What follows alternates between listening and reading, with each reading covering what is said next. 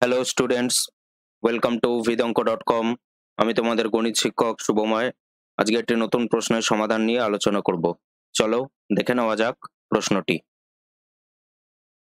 প্রশ্নে আমাদের বলা হয়েছে, একটি উপবৃত্তে, একটি উপবৃত্তের সমীকরণ দেওয়া আছে, যার উৎকেন্দ্রতা আমাদের নির্ণয় করতে হবে। তাহলে প্রদত্ত প্রদত্ত উপবৃত্তের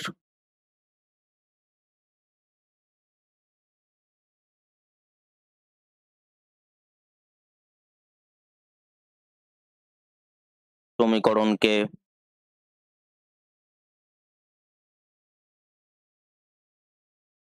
উপবৃত্তের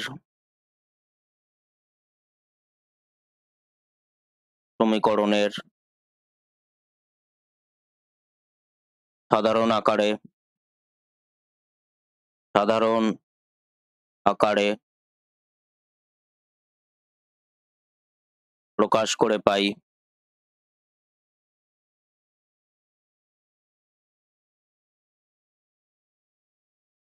X square by one sixty nine plus y square by one forty four equal to one তাহলে x square divided by thirteen square plus y square by twelve square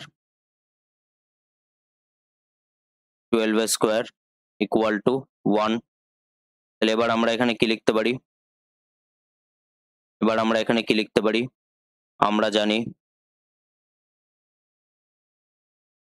উপবৃত্তের সমীকরণ। উপবৃত্তের সমীকরণ x square by a square plus y square by b square equal to one হলে উৎকেন্দ্রতা উৎকেন্দ্রতা কি হয়?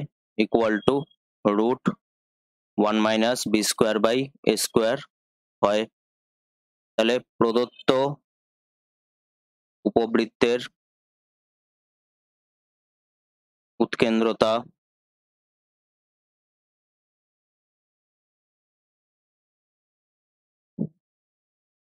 root one minus twelve square divided by twelve square by thirteen square তাহলে one minus forty four by one sixty nine তাহলে এবার আমরা এখানে কত পাচ্ছি? Root one sixty nine minus one forty four by one sixty nine equal to root twenty five by one sixty nine equal to five by thirteen তাহলে আমরা যদি দেখি, এটি হলো আমাদের অ্যান্সার থ্যাংক ইউ